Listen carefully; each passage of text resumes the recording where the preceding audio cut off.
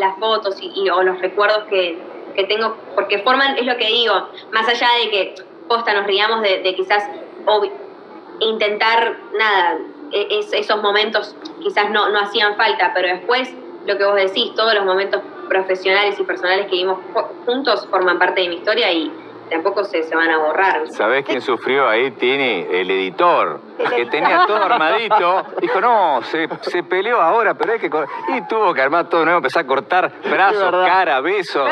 Y quedó bastante bien. y ahora, ¿cómo estás hoy vos?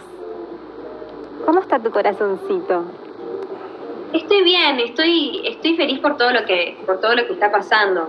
Eh, en mi vida profesional, feliz, porque dentro del contexto, viste, uno nunca sabe, como que de repente es extraño estar relanzando música y quizás no estar ahí en el piso con ustedes, está, está haciendo todo bastante distinto a lo que, a lo que estamos acostumbrados, entonces decís, bueno, lo que suceda quizás tampoco viste como que decís, puede pasar cualquier cosa, pero la verdad es que terminó superando todo, todo tipo de expectativas, estando lanzar música justo también en estos momentos, pero, pero creo que también la música siempre eh, es una buena compañera, ¿no? En, cualquier momento de la vida.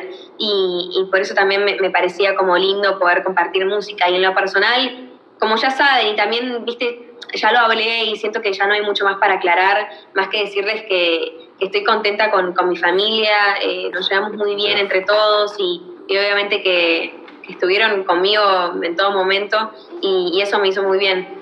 Sé que se viene una serie que van a filmar en Colombia con Sebastián.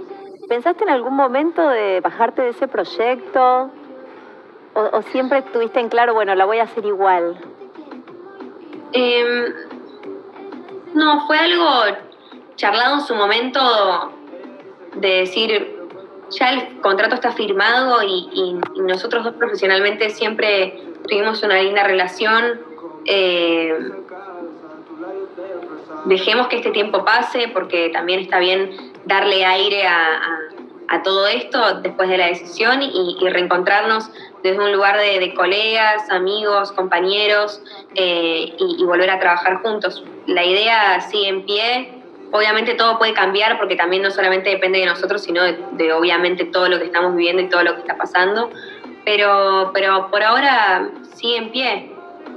Y no es difícil trabajar con una expareja, encima hacer de que estamos enamorados, va a haber besos de la ficción, que por supuesto, para que la gente sepa, los besos de la ficción hay gente alrededor, la cámara, el ensayo, pierde la, la, magia, pero igual, viste, es una persona que, que quisiste mucho. ¿Cómo te imaginas trabajando con él? No lo sé, no lo sé, no lo sé y no lo estoy pensando tanto. Es como, voy a ver eh, el día que me pase cómo, cómo lo manejaremos. Los dos somos muy profesionales y como de, eso no, no, tengo dudas eh, y, y, nos tomamos muy en serio las cosas, entonces eh, sé que, que en, en, eso va a ser súper llevadero. Y después en lo personal es algo personal y supongo que también lo viviremos entre, entre los dos, pero, pero yo creo que, que va a estar todo bien.